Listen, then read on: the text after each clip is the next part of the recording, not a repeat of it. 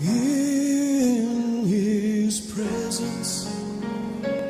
there is joy beyond measure, and at his feet peace of mind can still be found. And if you